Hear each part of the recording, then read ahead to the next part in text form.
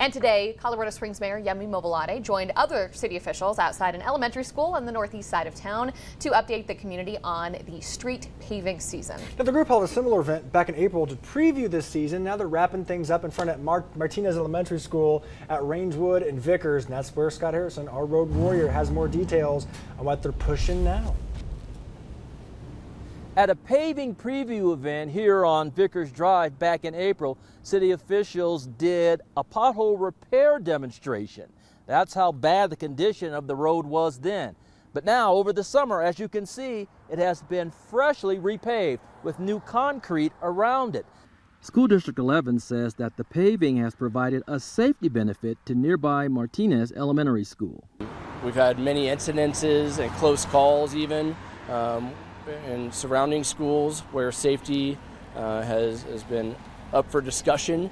The city says that improving concrete curbs, gutters, and in some cases sidewalks prevents defects that could undermine the paving jobs.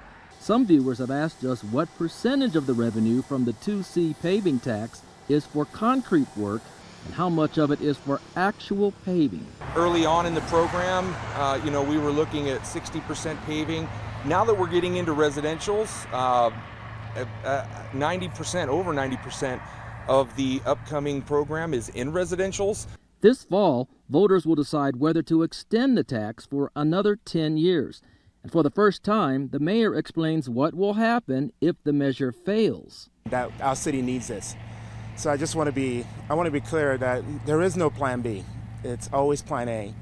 Mayor Mobolade says that early polling for the 2C renewal is at 70% so far, but he's not taking it for granted that it will pass.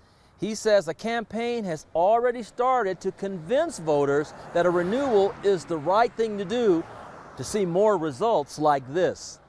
In Colorado Springs, I'm the road warrior, Scott Harrison for KRDO 13 hey, let Scott check out your roads. Let him know what's going on. If there's a big issue, he'll look into it. Road Warrior at krdo.com.